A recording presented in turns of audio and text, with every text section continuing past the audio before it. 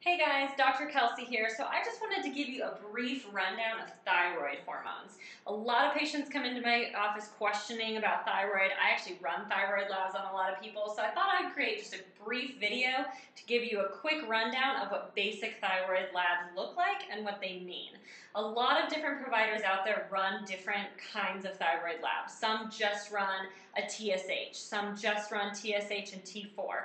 But really there's a big story that we're trying to look at here with your thyroid, and so I just wanted to clear that up for you. Now, there a lot of people think of thyroid as like hypothyroid or hyperthyroid being a problem with just the thyroid gland in your throat. It sits right here. And really, when we talk about thyroid, we're talking about an entire story. It's really a game of telephone that goes between your brain, your thyroid, and then all of the cells of your body. And so we need to look at a certain number of labs to fully understand that story, okay? So I'm gonna start by just drawing a picture of some of the different organs that are involved or the organs or cells that are involved in this pathway, okay? Very rudimentary.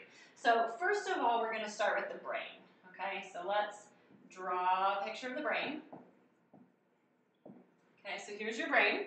Then I'm gonna draw a picture of the thyroid. And the thyroid is kind of this like butterfly shaped gland, like I said, that sits in your throat.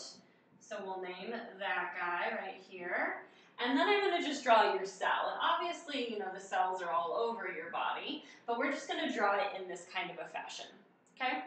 Now let me just give you a little bit of background on thyroid.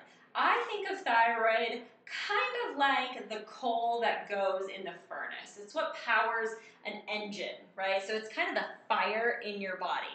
Um, if you, you, guys have probably heard about the terms hyperthyroid or hypothyroid, um, what's pretty typical in people who have hyperthyroid, they have a lot of hyper or a lot hyper, lot of thyroid hormone in their body, means that they're going to have a lot of coal going in the furnace. So everything's going to be kind of amped up, right? So their metabolism's going to be higher, their energy level is going to be higher, they may have anxiety, they may have higher blood pressure or higher heart rate.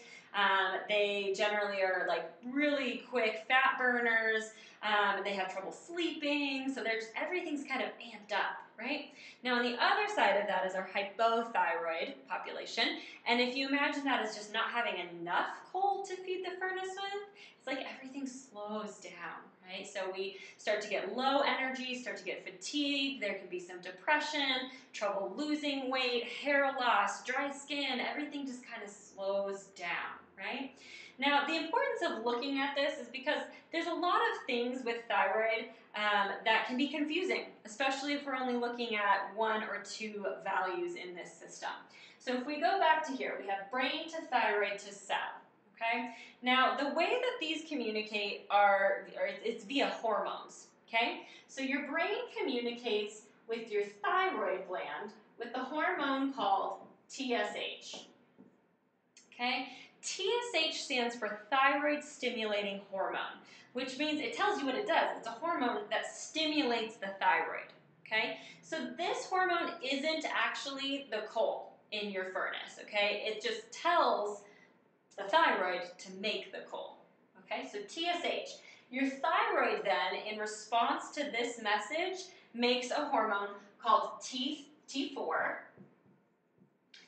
it also makes one T3. Now T4 is really converted to T3 in the body, but just for ease of explanation, let's just say we have these two hormones that come out from the thyroid, okay? T4 and T3.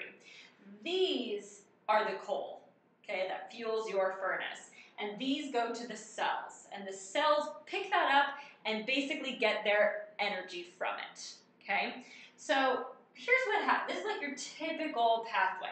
Now, the cells, basically our whole body, when we have any kind of hormone production going on in our body, there's a basic system in place to keep this from going out of whack, right? We don't want the brain just constantly signaling the thyroid with TSH because then the thyroid is going to constantly be making T4 and T3 and your cells are going to be overrun with energy and then that gets you into your hyperthyroid.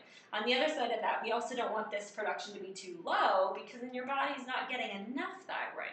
So what ends up happening is there's actually a message, it's called a negative feedback loop, that your cells can then send a message back up to your brain to say whether they have enough thyroid hormone or not. So if the thyroid is producing a lot of T4 and T3, and the cells get all that they need, then they're going to say, okay, we don't need anymore. They're going to send a message back to the brain to say, hey, we don't need anymore. And then the brain's going to respond by reducing, I'll draw this on here for you, by reducing the number of, or the amount of TSH.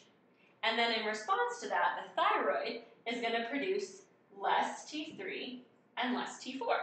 So then you're not continuously bombarding your cells.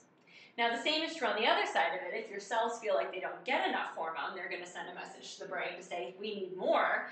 And then the brain is going to instead increase the TSH, and your thyroid is going to respond by increasing T4 and T3.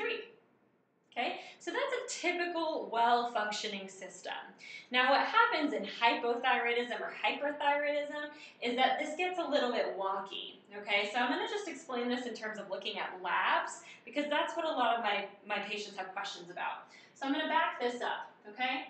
If we have somebody who comes in and let's say they are feeling really fatigued, they just, they wake up tired no matter how much sleep they get, maybe they're in a little bit more pain, maybe they're having trouble losing weight, uh, maybe a little bit of depression, brain fog, dry skin, their hair is falling out, all of these symptoms of hypothyroidism, I'm going to be running these labs, okay? And probably some more on top of that. But if we're just looking at these labs, what I'm going to expect to see to come back on those labs is we're going to have a really high TSH, but we're going to have a low T4, T3, okay? Now, the reason for that is that the system's a little bit hijacked, right? So you have low hormone. Remember, this is the fuel in your engine. And so that's low. Your body's going to get all the symptoms of low thyroid or hypothyroid. And so your cells are going to feel that. And then they're going to send a message back to your brain that says, hey, we really need some more thyroid hormone. And your brain is going to say, great. And it's going to produce a bunch of this thyroid stimulating hormone to tell your thyroid to make more. The problem in this condition is that the thyroid, for whatever reason, isn't listening. It's not receiving the message. Um, so that's, that's the problem. So then you're going to have a lot of thyroid stimulating hormone production trying to tell that thyroid to make more, but the thyroid's not hearing the message. So there's a mix up in communication, and it's still just producing its regular amount, which is now too low. Okay? Now the opposite occurs if somebody has hyperthyroid. Now a common symptom of hyperthyroid is something called exophthalmos, and that's when the eyes start to protrude a little bit out of the face, and so they can look like you have like really big eyes. Okay, so that's one symptom. Hypothyroid is way more common than hyperthyroid, but it still shows up, so I want to tell you about it. And hyperthyroid, what we're going to see is we're going to actually have a low TSH and we're going to have a high T4 and T3. And the reason for that is because if you're hyper, you have a lot of thyroid. So lots of T4, T3, the cells are getting overwhelmed, and then they're sending a message back to the brain to say, no more. Please stop this stimulation. We have enough. So your brain is going to reduce the thyroid stimulating hormone to tell the thyroid, whoa, we're putting on the brakes, stop producing so much. But once again, the thyroid isn't hearing the message. So it's still just pumping out a bunch of hormone, even though the brake pedal is trying to control it. Okay? So that's kind of what a typical thyroid pathway looks like. Um, when I have patients come in, I always run these three labs, but I also am usually running other things like reverse T3, like your thyroid antibodies. There's a couple there I want to look at to make sure there's not an autoimmune thyroid condition like Hashimoto's or Graves' disease going on. And oftentimes I'm looking at a number of other factors that can play a role in thyroid health, like your iron or your ferritin levels, um, some of your cofactors, your B vitamins, your minerals. I'm also sometimes looking at adrenal health because your adrenals and your, your thyroid are really strongly connected.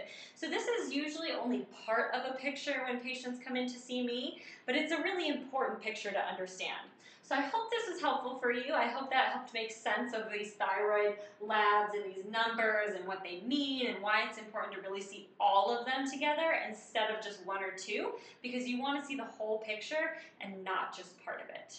So if you have any questions, please feel free to leave some comments below. I'm happy to answer them. If there's other videos you'd like to see like this, where we explain some of the, some of the hormones, I'm happy to do that. All right, see you next time. Bye.